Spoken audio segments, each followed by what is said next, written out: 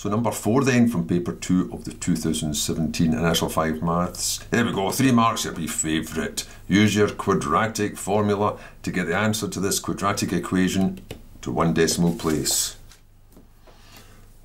So you're just going to write straight away. If you can't remember it, you'll look up the front. Negative b plus or minus the square root of b squared minus 4ac all over 2a. And probably just take a note just to confirm it. a is definitely 2. B is definitely in front of the x, that's 5. And c is a negative, so c is negative 4. Right, pop that in. The negative of b, so that's the negative of 5. b squared, that's 5 squared. 4 times now A is a 2, I'll just put it down this way, and C is a negative 4. Make sure this line goes under the whole thing, doesn't just stop here. Over 2 times, and A is 2. I'll put that in that way as well. Now, in the next line, I'd rather just write the thing I'm going to use in my calculator. So two twos are 4, but I don't want to be writing a line after line just to work this out, so I'll do this at the side.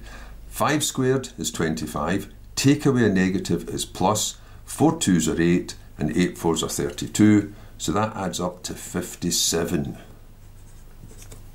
So the two answers I'm going to get will be negative 5 minus it. I know you say plus or minus.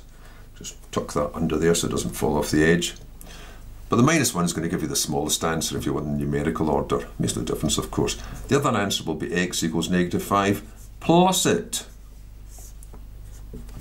So, what are the two answers?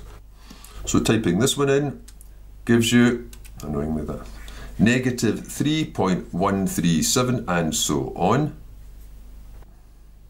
And then just using re replay to change the minus into a plus, or just doing it again. Sometimes it's just as fast with fiddling about that wee thing. Gives you 0.637, whoops, 4, 5, and so on.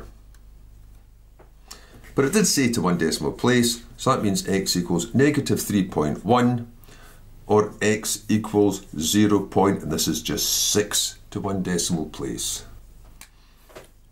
There we go.